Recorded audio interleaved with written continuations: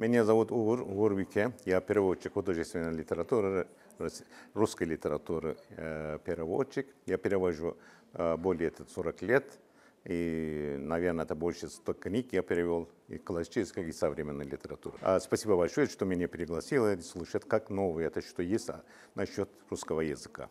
И я рад это, э, слышать очень интересные доклады. И для меня это, например, это особенно, это когда идет речь о переводе и о литературе. И, естественно, это для меня это еще это интересно. Да, очень хорошая эта программа. И желательно было бы этот еще каждый год. И не только в Стамбуле, это, и в других городах Турции. Это потому что почти везде есть у нас этот, русская филология. И не только этот, думает о Стамбуле. Этот. Надо ездить уже туда, где есть русский язык. Спасибо большое.